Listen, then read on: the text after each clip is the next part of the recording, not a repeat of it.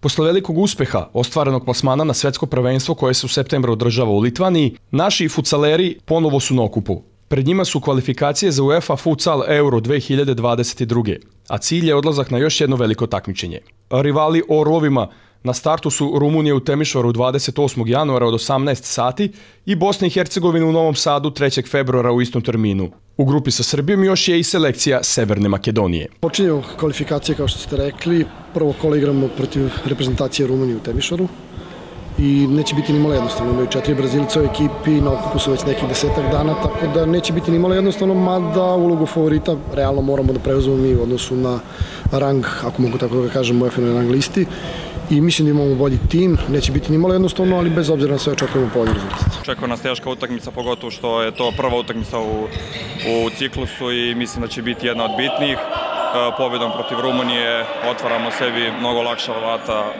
za odlazak na Euro. Selektor reprezentacije Goran Ivančić pozvao je uz manje promene proverene snage iz dvomeča sa Finskom, kada je izboren plasman na svetsko prvenstvo.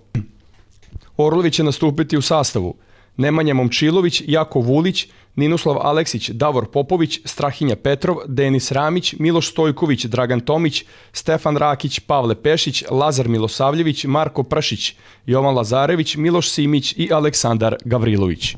Uvek važi to je da je svaka utakmica i svaki ciklus novo dokazivanje i mislim da će nam to uvek biti u glavi da, da eto, iako smo se plasirali na svetsko prvenstvo, pokažemo da, da, da, se, da pokažemo naciji da treba se plasiramo i na evropsku i da dokažemo svoj kvalitet.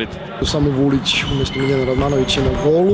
I to je to, znači ekipa je ona koja je bila, bit će nekih izmena sigurno tokom kvalifikacija, ili ćemo probati i dati priliku nekim novim igračima i mislim da je to i pravi put, ako mogu tako da kažem, jer u Novi Sad dolaze još dva igrača, pred utakmicu sa Bosnom, podmlađujemo ekipu bez obzira što imamo izuzetno mladu ekipu, bitno je da konstantno podmlađujemo ekipu, da ih pripremamo za ono što ih očekuje u narednim godinama. Evropski šampionat u futsalu će biti održan u Holandiji od 19. januara do 6. februara 2022. godine.